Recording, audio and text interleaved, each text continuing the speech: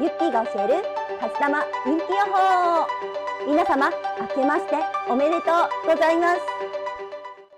え？明けましてはちょっと遅くないかって？そんな声が聞こえてきそうですが2月4日の立春からいよいよ2023年の運気に切り替わるんです。このように年の運気と月の運気が同時に切り替わるのは年にたった1回だけ。さあこのタイミングであなたがどのような運気を迎えているのか気になりますよね。さて二十四節気で言うと立春薄いを迎えます。まだまだ寒い日が続きますが暦の上では春の始まり。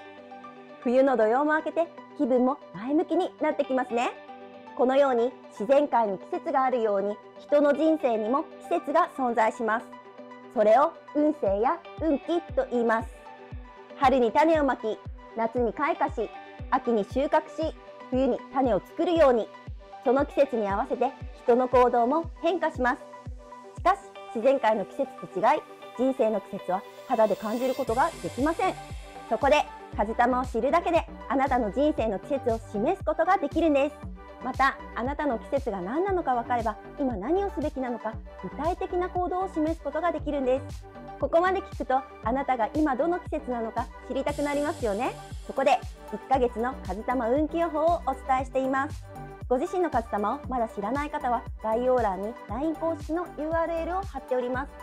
そちらからお申し込みいただきあなたのお名前生年月日性別を送ってください。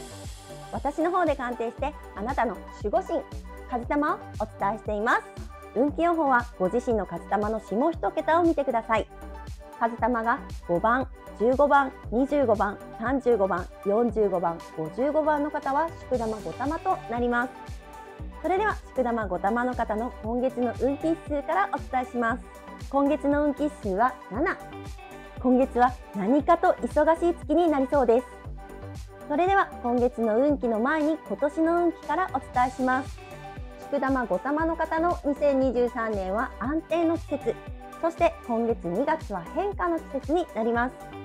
それでは変化の季節を詳しく見ていきましょう。積極的に行動しようという思いが増すため活動範囲が広がり環境に変化が伴う時期となります。また転換を図ることで出費がかさむ時期でもあります。とにかく外部との関わりが多くなるので自分の意思に関係なく計画に変更が生じたり周囲に振り回されたりする可能性が高まります。特に対人関係において注意が必要になります。このように変化の季節では今までのやり方からさらに上を目指すためとにかく忙しくなるそんな時期になりそうです。それでは運気予報に行きます。占いでは旧暦を活用しているので2月の運気は2月の4日から3月の5日まで。中でも月の運気と日の運気が重なるダブルデーは2月の5日、15日、25日。このように月と日の運気が重なる日はとにかく忙しくなりそうです。自分自身がスピードを上げていることを周囲に伝え周囲の人との協調性も図っていきましょう。それでは変化の季節の良い傾向悪い傾向をお伝えします。良い傾向に行くと転換と才能で何事もスムーズにいくでしょう。しかし悪い傾向に行くと大勝負に出て失敗しやすくなるので注意しましょう。そして良い傾向に行くと高すぎる目標でもやる気で達成できるそんな時期でしょう。しかし悪い傾向に行くと大きなことを言って社会的信用を失う可能性があるので注意しましょう。そして良い傾向に行くと多方面で才能を発揮して評価されるそんな時期でしょう。しかし悪い傾向に行くと人間関係でトラブルが発生しやすいので注意しましょう。このように運気予報をチェックすることで毎月の行動の指針にしていきましょう。さあ皆さんいかがだったでしょうか？あなたの人生の季節を知ることであなたが望むべき未来をどのようにして手に入れるのか具体的な行動を示すことができます。風玉運気予報は毎月アップしていくので人生の参考にしてくださいね。